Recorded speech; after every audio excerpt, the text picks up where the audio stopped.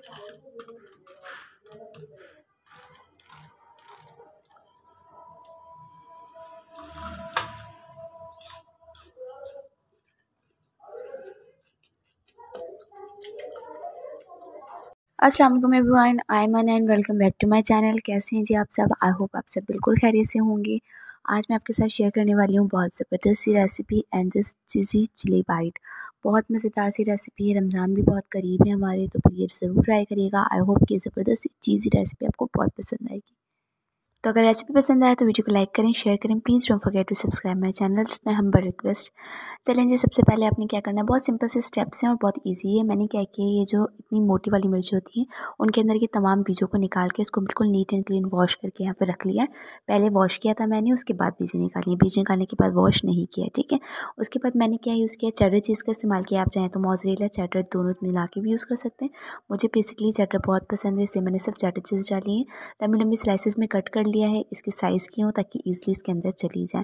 तो मैं ज़रा दो तीन लेयर्स डालूँगी एक साथ ताकि मुझे जो ना बहुत चीज़ी सा टेक्सचर चाहिए।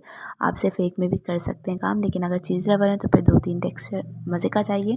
तो फिर आपने क्या करना है दो तीन इस तरीके से स्लाइसिस के अंदर ऐड कर देने। तो मेरे एक हाथ में मोबाइल है और दूसरे हाथ से मैं ऐड कर रही हूँ, आप लोग ईजी कर लीजिएगा। इस तरीके से अपनी तमाम चीज़ को अपनी, इस तरीके से अपनी चीज़ के साथ फिलअप करना। है साथ साथ आप सबसे बिल्कुल हम रिक्वेस्ट कर रही हूँ कि please please please don't forget to subscribe the channel channel को सब्सक्राइब कर लें अगर आप न्यू हैं और वीडियो को लाइक ज़रूर कर लिया करें और साथ में मौजूद बेल आइकन को प्रेस कर दिया करें ताकि मेरी लेटेस्ट वीडियो से आप अप टू डेट रहें। देखें जिस तरीके से बस आपने क्या करना है, तमाम चीज़ को अपनी फिल करना है चीज़ के साथ।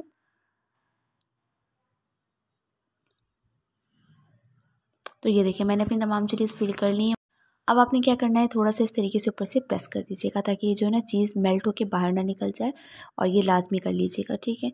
अब हमने क्या करना है, इसकी कोटिंग तैयार करनी है जिसके लिए मैंने लिया है एक अंडा।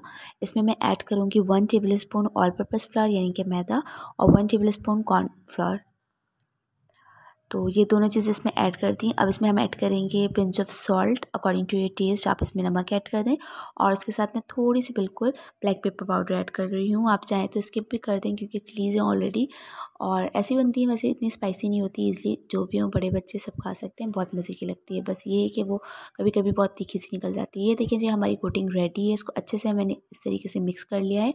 अब दूसरी तरफ़ हमने क्या करना है, हमने लास्ट इसमें इसकी कोटिंग स्टार्ट करनी है। तो इसके लिए हमने चीज़ लेनी है, जिसमें हमने चीज़ फिल किया हुआ है और ब्रेड क्रम्स का इस्तेमाल करूँगी मैं। ये होममेड है, जिसकी रेसिपी मेरे चैनल पर अपलोडेड है और आपको बताऊँ, एक महीने से ज़्यादा से मैं इसको यूज़ कर रही हूँ और फ्रिज में रखते हैं एयर टाइट कंटेनर में, बिल्कुल कहीं ख़राब नहीं होते और आराम से यूज़ कर सकते हैं इसको। तो अब रमज़ान भी आ रहे हैं तो ज़रूर ट्राई कर लीजिएगा बना के और इसके लिंक जो है मैं डिस्क्रिप्शन बॉक्स में ऐड कर दूँगी और ये रेसिपी भी ज़रूर ट्राई करिएगा, बड़ी मज़े की है। तो सबसे पहले मैंने इसको अंडे की कोटिंग में डाला था, फिर इसको ब्रेड क्रम्स में लगाया। दोबारा से हमने अंडे में इस तरीके से इसको लपेटना है और लास्ट में इसकी दोबारा से लास्ट कोटिंग करेंगे हम ब्रेड क्रम्स के साथ। बहुत ही क्रिस्पी बहुत ही मज़ेदार सी कोटिंग होती है और बहुत ज़बरदस्त लगता है खाने में। अंदर से इतना सॉफ्ट सा टेक्सचर निकलता है चीज़ का और ऊपर से इतना क्रिस्पी लाजवाब। रेसिपी एक बार ज़रूर ट्राई करिएगा। आई होप कि रेसिपी बहुत पसंद आएगी आपको। तो बस एक्स्ट्रा इस तरीके से झाड़ लीजिएगा। जितने भी ब्रेड क्रम्स होंगे एक्स्ट्रा वो रिमूव हो जाएँगे।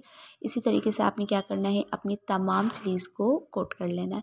तो मैं ज़रा फास्ट फॉरवर्ड पर आपको दिखा देती हूँ जल्दी से कोटिंग करके। फिर इसको हम लास्ट प्रोसेस जो होगा, इसका वो होगा।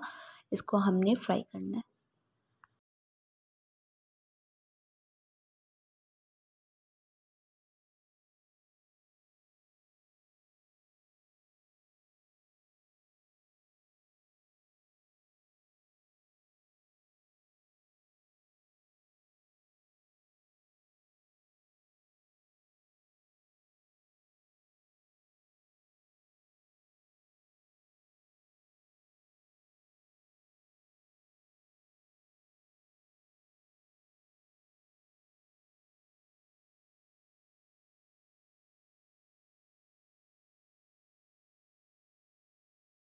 तो भाई जल्दी से मैंने इसकी तमाम चीज़ की कोटिंग कंप्लीट कर ली है। ये देखें कोट होके भी कितनी खूबसूरत सी लग रही है ना प्यारी प्यारी सी।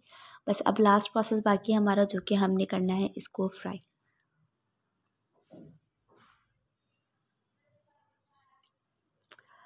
तो फ्राई करने के लिए आपने क्या करना है? प्री हीट करना है अपने पैन को और उसमें अपने कुकिंग ऑयल डालना है, जो भी आप यूज़ करते हैं और उसको हीट करना है। नॉर्मल मीडियम फ्लेम पे और मीडियम फ्लेम पे जब तेल आपका गर्म हो जाए, आप इसको ऐड कर देंगे। तो मीडियम टू हाई फ्लेम पर ही आपने इसको फ्राई करना है, क्योंकि इसमें कोई कच्चा पक्का रहने की तो टेंशन ही नहीं है। और high medium to high flame पर बहुत अच्छे से क्रिस्पी हो जाएँगे। तो वन साइड इसका अच्छे से क्रिस्पी जब हो जाए ब्राउनिश कलर आ जाएगा तो आपने क्या करना है? इसकी साइड्स को तब्दील कर देना है। मैंने इसे डीप फ्राई नहीं किया है क्योंकि फिर ऑयल जो है वो वेस्ट हो जाता है। आप चाहें तो डीप फ्राई कर लें, मैंने इस तरीके से बस। फ्रंट साइड को अच्छे से हमने इसको गोल्डन ये ब्राउन कलर आ गया इसमें। अब हमने क्या करना है, तमाम साइड्स इसकी चेंज कर देनी है।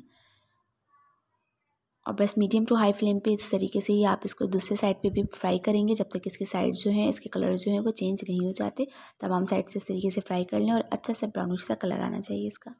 तो ये देखिए जी फाइनल लुक हमारी चीज़ें चिली वाइट, ज़बरदस्त, मज़ेदार और बहुत ही खूबसूरत लग रही हैं देखने में और बहुत ही मज़ेदार, बहुत क्रिस्पी सी बनी है।